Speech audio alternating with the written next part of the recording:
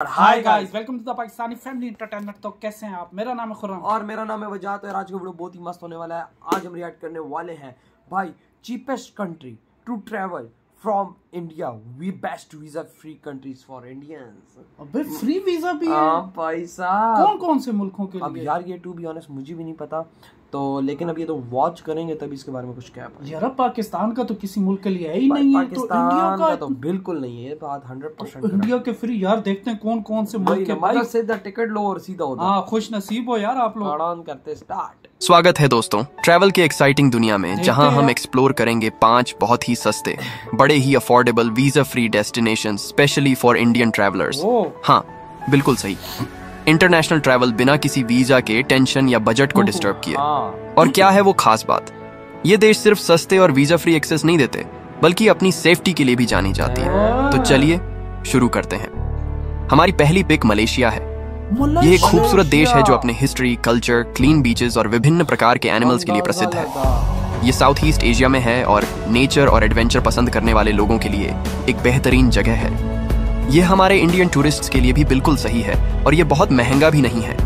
Malaysia जाने का सबसे अच्छा समय मार्च से अक्टूबर अच्छा। और फिर जनवरी से फरवरी तक है। तभी मौसम सबसे अधिक सुहावना होता है। घूमने अच्छा। घूमने के लिए कुछ बेहतरीन स्थानों में कुआँ लालमपुर शामिल है। जिसमें आइकॉनिक लैंडमार्क्स शामिल हैं जैसे पेट्रोनस ट्विन टावर्स और Batu Caves Legoland Malaysia George Town और बोर्नियो के जंगली जंगल। एक चीज़ जो आपको मलेशिया के बारे में पता नहीं होगी वह है कि यहाँ दुनिया का सबसे बड़ा सर्कल स्ट्रीट पुत्रजाया में है।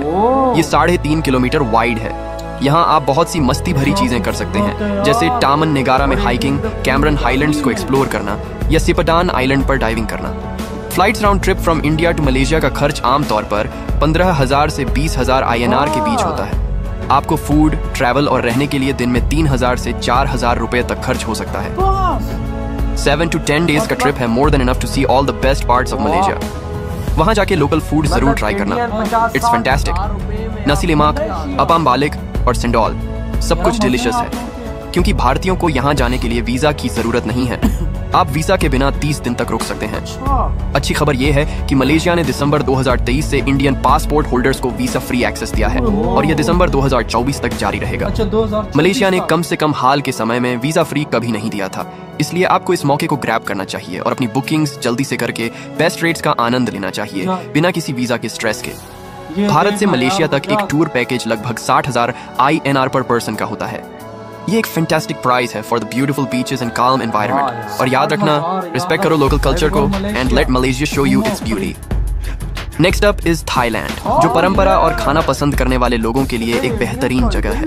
आपको इस खूबसूरत देश में नवंबर से अप्रैल की शुरुआत तक जाना चाहिए। क्योंकि मौसम साइट सीइंग के लिए अच्छा है। थाईलैंड में घूमने के लिए बहुत सारी शानदार जगहें हैं, जैसे बैंकॉक में गोल्डन टेम्पल्स पटाया में फन नाइट इवेंट्स और फुकेट के कूल बीचेस थाईलैंड के बारे में एक अच्छी बात इसका नाम है, जिसका अर्थ है लैंड ऑफ़ द फ्री ऐसा इसलिए है क्योंकि ये साउथ ईस्ट एशिया का एकमात्र देश है, जिस पर कभी किसी यूरोपियन कंट्री ने कब्जा नहीं किया। यदि आप जाते हैं तो आप थाई मसाजेस लेना बिज़ी नाइट मार्केट्स देखना और पुराने मंदिरों को देखना जैसी कई मज़ेदार चीज़ें कर सकते हैं। यदि आप इंडिया से आ रहे हैं तो एक राउंड ट्रिप हवाई जहाज़ के टिकट की कीमत आमतौर पर पंद्रह हज़ार से बीस हज़ार इंडियन रुपीज़ के बीच होती है अच्छा। जब आप वहाँ होते हैं तो आप जो भी खर्च करते हैं वह आपके काम के आधार पर रहने खाने ट्रैवल करने सहित तीन हज़ार से चार हज़ार इंडियन रुपीस तक हो सकता है। थाईलैंड के सुंदर दृश्यों को देखने के लिए एक सप्ताह का समय पर्याप्त है लेकिन यदि आपके पास अधिक समय है तो दस दिन की यात्रा आपको और अधिक देखने का मौका देगी। थाई खाना दुनिया भर में फ़ेमस है और आपको पैड थाई ग्रीन करी और मैंगो स्टिकी राइस जैसे डिशेज आजमाने चाहिए।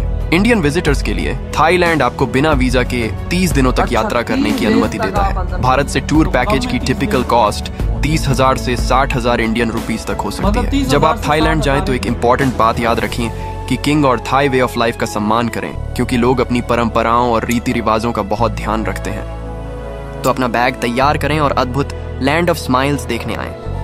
अच्छी खबर यह है कि थाईलैंड ने इंडियन पासपोर्ट होल्डर्स को 10 नवंबर 2023 से 10 मई 2024 तक वीज़ा फ्री एक्सेस दिया है। इसलिए बिना किसी वीज़ा स्ट्रेस के अपनी सभी बुकिंग पर बेस्ट रेट्स का आनंद लेने के लिए जितनी जल्दी हो सके अपनी बुकिंग करें। Next on our list is Kazakhstan ये जगह परफेक्ट है फॉर हिस्ट्री बफ्स फूडीज और जो पीसफुल बीच पर रिलैक्स करना चाहते हैं। Best time to go is June से अक्टूबर जब मौसम अच्छा हल्का गर्म रहता है।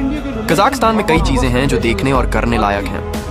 ब्यूटीफुल चैरन कैनियन देख सकते हो। या फिर स्ट्रोल करो old yet modern Almaty city में। या फिर विज़िट करो नुरस्तना मॉस्क को। कजाकिस्तान के बारे में एक इंटरेस्टिंग फैक्ट है।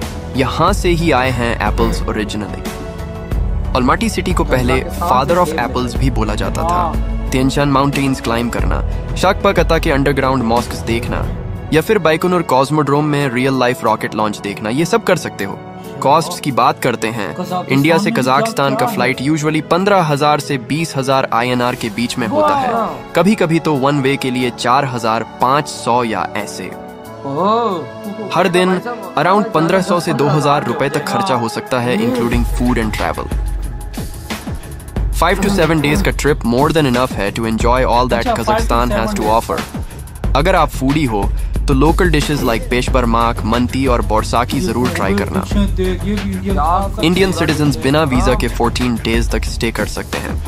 एक average tour package from India usually costs around 60,000 INR per person, which is good value considering all the great things to see and do. याद रखो यहाँ ज़्यादातर लोग कजाक और रशियन में बात करते हैं। इंग्लिश थोड़ा कम। फेसबुक या ट्रांसलेशन ऐप का यूज़ कर लेना। और अपने सामान को पैक करो रेडी हो जाओ एक्सप्लोर करने। सेंट्रल एशिया की हिडन ट्रेजर कजाकिस्तान को। Our next stop is Nepal Himalayas में एक बहुत खूबसूरत जगह। यहाँ के खास जानवर और सीनरी हर व्यक्ति को प्रभावित कर देते हैं जो यहाँ आता है। नेपाल घूमने के लिए सबसे अच्छा टाइम अक्टूबर से दिसंबर है जब मौसम बहुत अच्छा होता है। दस दिन का ट्रिप ही काफ़ी है नेपाल की खूबसूरती को देखने और महसूस करने के लिए।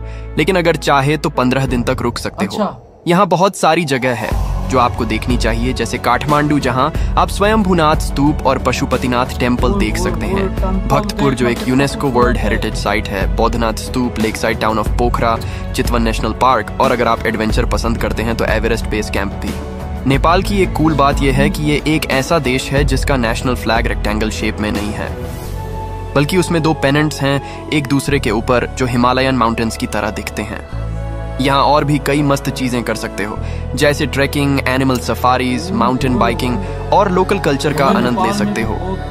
Round trip flight tickets India से नेपाल दस हज़ार से पंद्रह हज़ार आई के बीच में होते हैं। साल के टाइम और एयरलाइन पे डिपेंड करता है। रोज का खर्च इंक्लूडिंग खाना ट्रैवल और स्टे लगभग 2000 से 3000 इंडियन रुपीस के आसपास होता है। यहाँ के कुछ खास खाने ट्राई करना मत भूलना। जैसे दाल भात एक ट्रेडिशनल नेपालीज मील जो दाल और चावल का कॉम्बिनेशन है और मोमोज। इंडियंस के लिए नेपाल में बिना वीसा के 150 दिन तक रहने की सुविधा है। एवरेज अच्छा, कॉस्ट एक ट्रैवल पैकेज का इंडिया से नेपाल के लिए। बहुत सस्ता है।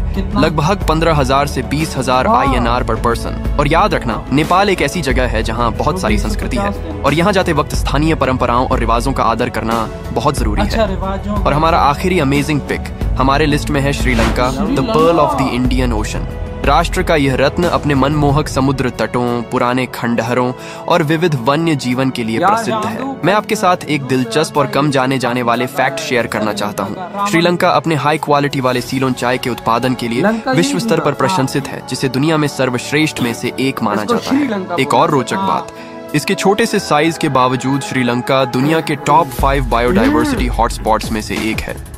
प्राचीन शहर अनुराधापुरा से लेकर हसीन चाय की खेतियाँ नुवारा एलिया में याला जैसे हाथी भरे नेशनल पार्क्स तक। Sri Lanka presents a kaleidoscope of wonders waiting to be discovered यहाँ जाने का सबसे अच्छा समय है दिसंबर से लेकर मार्च वेस्टर्न एंड सदर्न कोस्ट के लिए और अप्रैल से लेकर सितंबर ईस्टर्न कोस्ट के लिए। 27 डिग्री सेल्सियस की औसत टेम्परेचर के साथ श्रीलंका एक ऐसा डेस्टिनेशन है जहाँ ट्रॉपिकल छुट्टी का आनंद लेने वाले लोगों के लिए बेस्ट है। हमारे इंडियन ट्रेवलर्स के लिए इस द्वीप राष्ट्र की यात्रा करना काफ़ी सस्ता है। आप फ्लाइट्स अकोमोडेशन और मील सहित पर पर्सन लगभग पैंतीस हज़ार रूपए खर्च करने की उम्मीद कर सकते हैं। एक हफ़्ते की स्टे रिकमेंडेड है जिससे आप अपने आप को संस्कृति में डुबो सकें प्राचीन अवशेषों को एक्सप्लोर कर सकें और प्रकृति की सुंदरता का आनंद ले सकें।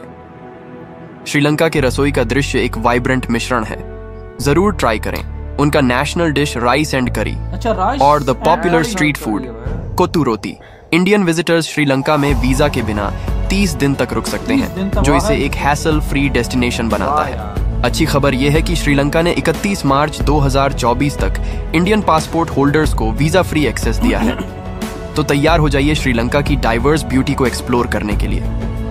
याद रखें नए क्षेत्रों को एक्सप्लोर करते समय ट्रैवल इंश्योरेंस लेना हमेशा स्मार्ट होता है।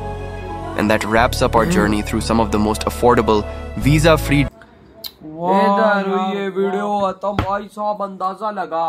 भाई साहब Sri Lanka Nepal Thailand, Thailand. Malaysia. भाई कजाकिस्तान। यहाँ पर भारतीय जा सकते हैं फ्री और ये भाई साहब सिर्फ़ पाँच देश थे। आई थिंक यार कितने देशों की वीज़ा फ्री आप लोग कमेंट में बताना। आई थिंक साठ है।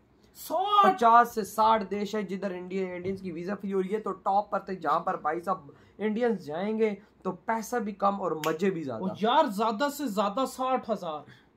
ज़्यादा से ज़्यादा उसमें सब कुछ और मिला भाई तू वीआईपी वो मज़े लेगा भाई साहब वहाँ पर जाकर घूमेगा फिरेगा खाएगा सब कुछ करेगा साठ हज़ार। आना जाना साठ हज़ार उधर रह के खा पी के। और यार यहाँ से अगर हम जाते हैं तो लाखों रुपया लग जाता भाई साहब तू अपनी जेब में दस लाख रुपया रख के जा। हाँ और वैसे और तो जो तुझे मलेशिया में नंगा करेंगे वो लोग अलग। मैं यही बोलने वाला था कि वहाँ पे आपको जाने नहीं देंगे। अगर आप चले गए तो आपको दस सवाल आपसे पूछे जाएँगे कहाँ से आए हो इज़्ज़त तुम्हारी उतारेंगे वो अलग। हाँ, वो और भाई उधर देखो ना भाई आप श्रीलंका में सर देखो यार हिंदू संस्कृति का दर्शन कर सकते हो। हाँ मलेशिया जैसा खूबसूरत मुल्क थाईलैंड हाँ। नेपाल। वही तो और भाई साहब जिस तरह तू खुद देख नेपाल में भी काफ़ी हिंदू संस्कृति है क्योंकि हाँ, भाई दुनिया का दूसरी सबसे ज़्यादा आबादी उधर है। और तो श्रीलंका। श्रीलंका तो फिर तो वहाँ पे है रावण और भगवान राम जी माता सीता जी। हाँ, ये तो इनकी हिस्ट्री है वहाँ पे। तो ये देखो ये मुल्क जो है ना इंडिया वाले साठ हज़ार यार चलो जिसके पास थोड़ा पैसा है तो वो आराम से घूम के आ सकता है साठ हज़ार रुपए में। और अगर यहाँ से पाकिस्तानी कोई जाए तो वही बात है कि आठ से दस लाख आपकी जेब में पक्का होगा तो तब आप मुश्किल से कहीं जा सकोगे तो इंडियंस को देख आराम सुकून से भाई बस टिकट लिया। गए और और एंजॉय किया। हाँ और एक महीना और एक जगह तो 150 दिन कौन से मुल्क में वो 150 नेपाल। हाँ नेपाल 150 दिन वहाँ 15 से बीस हज़ार बता रहे थे मेरे ख्याल से। ओ यार। देख ले भाई साहब इतना भाई साहब इंडिया का लेवल है यार आप लोगों को मज़ा है। आप समझो जिस तरह वजाहत बता रहा है कि साठ कंट्री है यानी कि आधे मतलब आधा पूरा मुल्क घूम सकते हो बगैर उसके पासपोर्ट वही के। आधी दुनिया के देश आराम हाँ, से आराम से। तो यार मज़ा क्या। थॉट है इधर वीडियो तुम करते तो तो